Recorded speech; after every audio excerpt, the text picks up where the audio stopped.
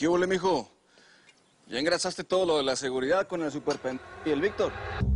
Todo bien, papá. Más que todo eso está infestado de pin maras salvatruchas, jefe. Pues sí, así es el ejército del Víctor. Eso solo confirma todo lo que he venido planeando. Así que arre, mira nada más que viene por ahí. Mira, papá. Él es el ingeniero. Dalvio Navarrete. ¿Qué ole? El famoso ingeniero. Aurelio Casillas. Por fin nos conocemos. Y dime, ¿cómo va a seguir la fiesta entre tú y yo? No, pues la fiesta va a seguir con un tequilita. Para aflojarnos, ¿no? Andamos muy tiesos. ¿Y para qué vienes con la pistola desenfundada y tirando piedras, hombre? Si estamos entre familia, hombre. Échale.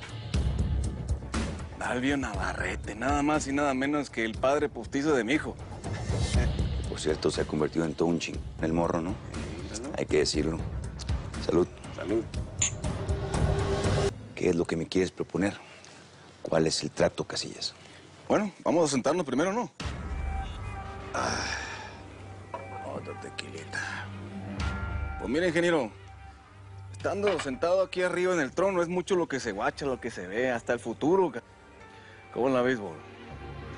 Y por eso quiero que nos cuidemos las espaldas tú y yo. ¿Pero de quién? Yo huelo paz por todos lados. Si el feo hubiera sabido que con su muerte todo se iba a arreglar, se hubiera suicidado antes. Pues sí, compa, pues sí.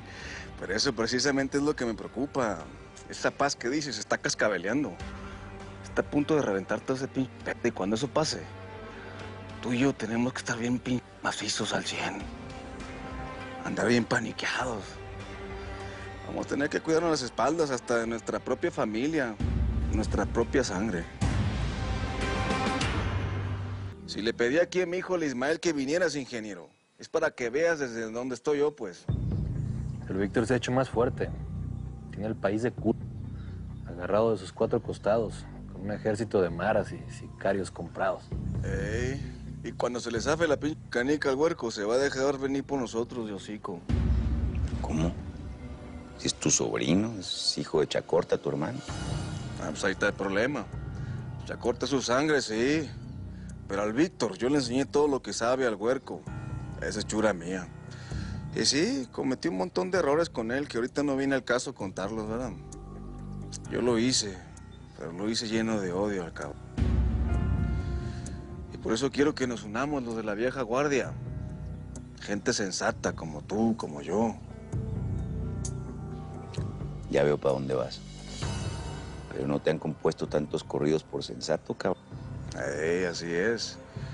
Y por eso cometí errores, ching. Por terco, por aferrado. Pero a estas alturas ya no puedo ca... Ya no estoy para esos trotes, compa. Entendí que en este negocio hay que unirse, hay que tener estrategia. Y tener la cabeza bien fría, pues. De acuerdo.